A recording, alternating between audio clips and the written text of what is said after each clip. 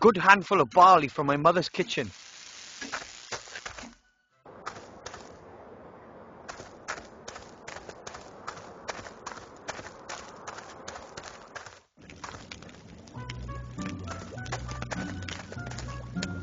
Hello, Master Brewer, sir. Aye, aye, Wilbur. When the robot started in on you, I never thought you'd beat it.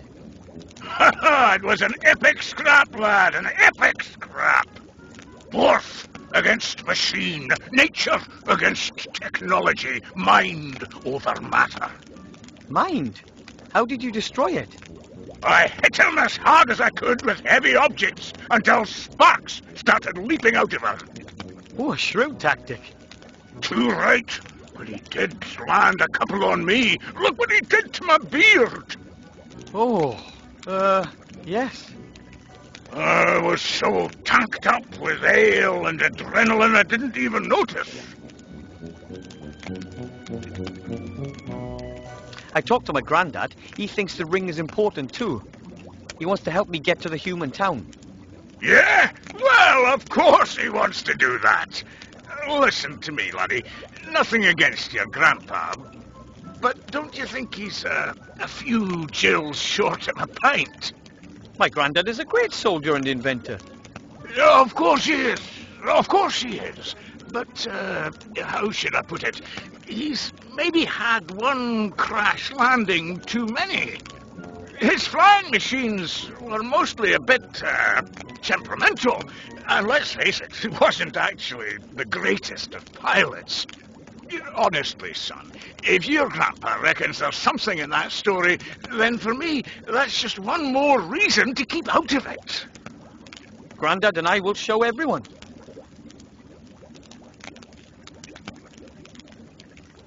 Um, Mr. Master Brewer, assuming I were to need some dwarven ale...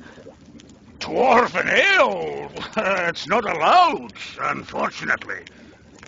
Why not? Have you heard about the explosion on Mount Winterpeak? The volcanic eruption? volcanic eruption! Deep under that mountain was the finest ale brewery in the whole dwarven world. My dad took me there when I was nothing but two beer crates tall. Can you imagine how ailed up we were? Uh, kind of. What happened? Ah, well, some so-and-so cocked up, and boom! that was that! All over for Dwarven Ale brewing. After the accident, it was banned as a substance of enjoyment. The sharp taste, the warmth in the throat, gone forever. Now it's only used in warfare and in the alchemy industry. But you do know how to brew dwarven ale, don't you? Does a one-legged duck swim in a circle? Of course I know. I'm the master brewer. It's not difficult either. First, you get barley germinated in a malt house, then let them bloat up after leaving them dormant for a bit. Then kiln dry the green malt, keeping it turned, of course mill it, making sure that the husks don't get destroyed. The husks? What are... Then mash the whole lot in a mash tun, obviously using the decoction procedure. After the iodine test, we get on with purifying and separating the malt from the beer wort in a slatted filter bed. Of course, but... In other words, we let the draft run through the mash pot. We then put the first wort in the brewing kettle, let it simmer, and add the hops. We let the wort settle to remove the trub crust, add the yeast, and then leave to ferment. Then we run everything through the pebble filter. That's all fair enough. Then it gets more complicated complicated. Stop! What? We're just getting to the exciting part. I'm sure we were, but I just abandoned the idea of brewing some dwarven ale myself. Well, whatever you think. Let's assume I need a small tankard of dwarven ale really, really urgently. Could you brew it for me? Uh, could do, uh, but I'm not going to. That's not allowed. Oh, come on. Who, who's going to notice? When was the last time another dwarf came by to visit us? Uh, that's a fair time back. You see? Wouldn't you just love a nice cold dwarven ale tonight to celebrate your victory over the robot?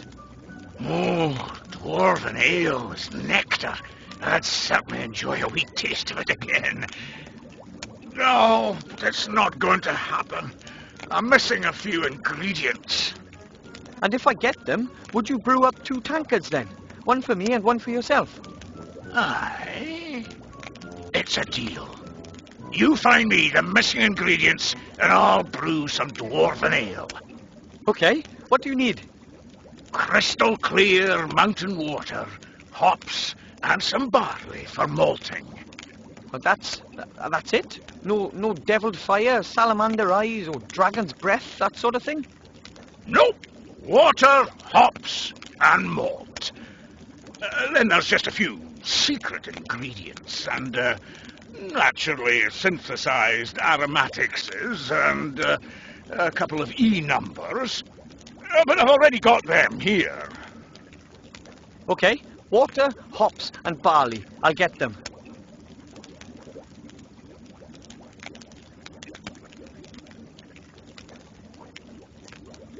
You have any idea where I can get the hops? Oh, I'm sorry, but that thieving rat took the best part of five sacks. I've not enough left. I've got to be careful with it. The rat, huh? Hmm.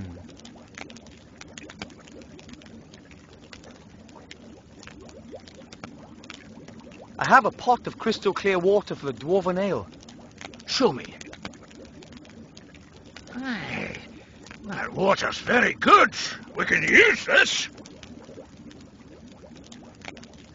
Here's some barley from my mum's kitchen. Can it be used for brewing? Hmm, it's not the best, but it'll have to do.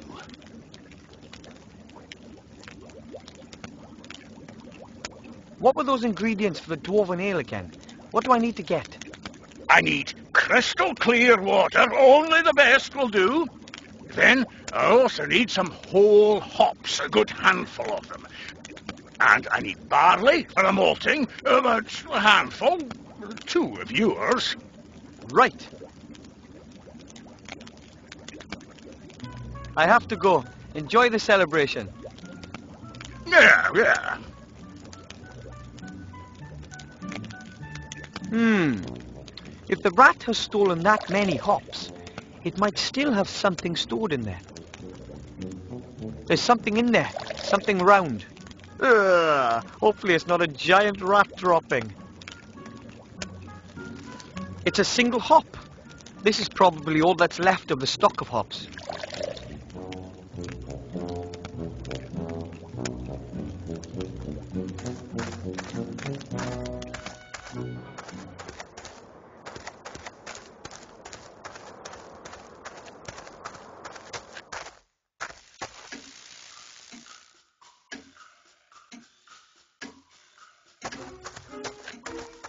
Okay, I'll plant the hop in the soil. Let's see what happens. I really can't imagine this stuff. Wow. Good fertilizer, that. Nah. Wow! A huge hop plant with tons of cones. I've picked about 10 cones. That should be enough for the dwarven ale.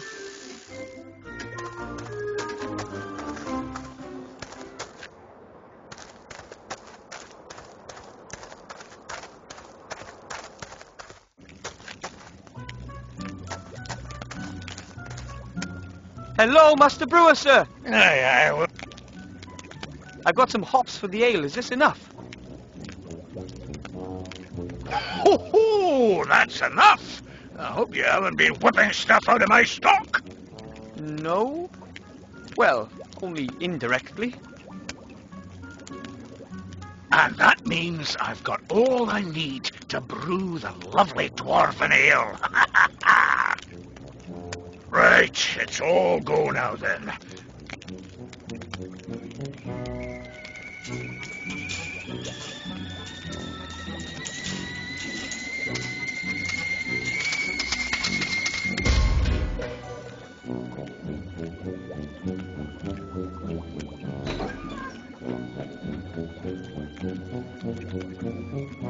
Hey, laddie, Just watch out that you don't get any of that in your eyes. It's dangerous stuff. I'll be very careful. Thanks very much, sir. Well, tell me, Wilbur, what do you need all that junk for? The dwarven ale and all the other stuff that you've been dragging out of here the whole evening. Well, it's because of the ring. I need it. Grandad's helping me get the ring to the human town safe. Well, quickly. Oh, Wilbur, it's dangerous for a young gnome like yourself out there. I know, but I promised that gremlin, and I believe it really could be important. And I'd like to get out of here and achieve something. Taste some adventure, eh? Mm-hmm. You know, I don't think that the ring is all that important. And not everybody's born for having adventures, my lad. But maybe you really do need to get out of here. Really? Aye, laddie. You still live with your parents, and you keep company with a very interesting, intelligent old dwarf. but that can't go on forever, can it now? So, if you do leave and go off on an adventure, even if it's just to Seastone, then maybe you'll come back and visit and tell me all about it then, eh? I promise. Don't forget us. You're going to have to excuse me now. I've got an appointment.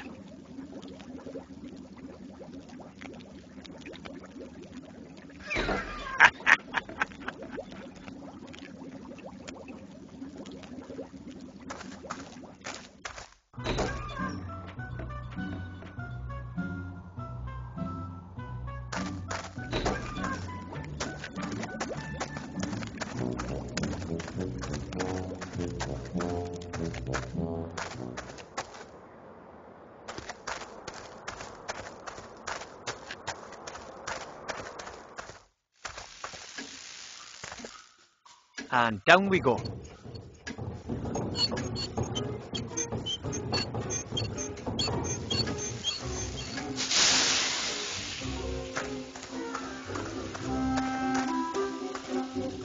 Um, Yes, report back.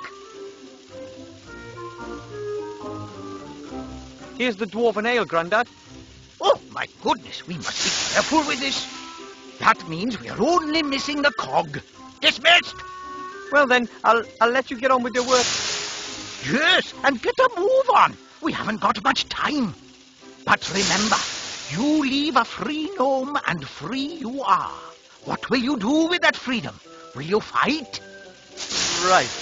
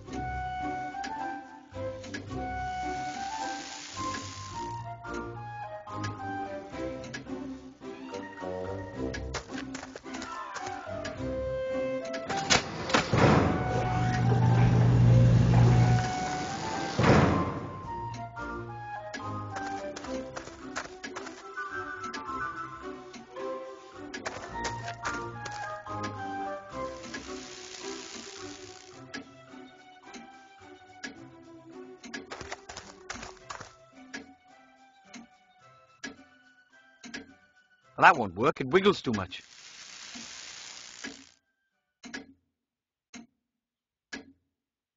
Well, that won't work. It wiggles too much.